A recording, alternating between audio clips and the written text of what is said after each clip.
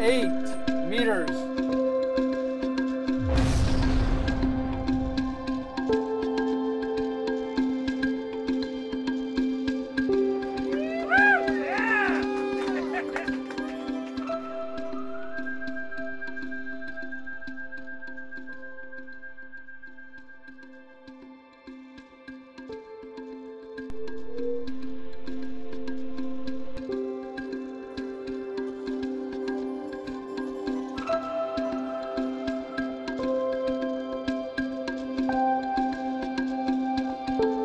We're going to places that have never been visited before by man.